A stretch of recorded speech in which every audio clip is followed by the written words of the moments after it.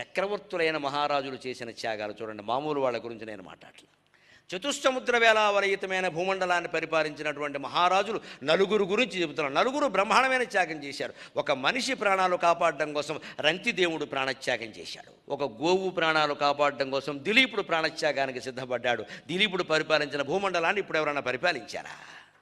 ఒక పావురం ప్రాణాలు కాపాడడం కోసం శివ చక్రవర్తి తొడ కోసిచ్చాడండి ప్రాణత్యాగానికి సిద్ధపడ్డాడు.